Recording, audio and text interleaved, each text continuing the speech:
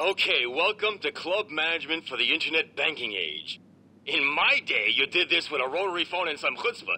Now it's graphs, clicks, and metrics, and you'll know you're broke and washed up before anyone's even walked through the door. Thank you, data, for taking the joy out of life.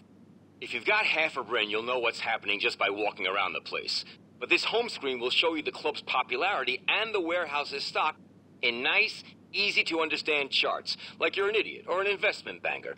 For the club, popularity means feet are coming through the door. There's cash in the tills, and everyone's happy. For the warehouse, your techs will push your other businesses to generate illicit goods, and they'll all get stockpiled in here. Your whole criminal empire under this one roof. The techs do the work buying, stealing, or producing, and all you need to worry about is selling the stuff, offloading illegal product, and bringing in nice, legal, laundered cash.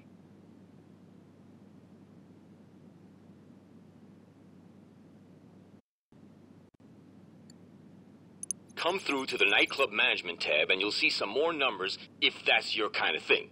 But more importantly, you can run promotions for the club by hitting, you guessed it, Promote Club.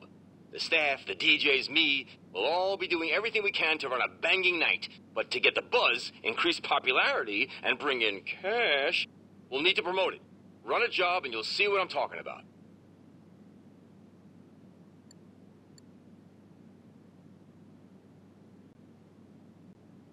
Here's where you book the talent.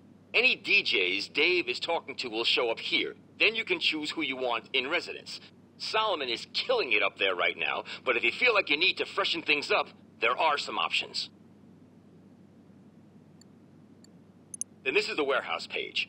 You'll see any and all of the illegal businesses you own registered here. Assign a warehouse tech to the product you want to stockpile, and they'll use your established network to bring that in at no additional cost or effort to you. You've got one tech at the moment, but you can hire additional people for additional products on this page too. And now to the sell page. Your techs will get hold of the product, but you've still got to sell it. Either sell one product at a time or offload all your stock, or if you want to make some real money, top buyers will have specific shopping lists of products and they'll pay a premium if that whole order is filled. Most of the money goes to you, some goes to the club, of course.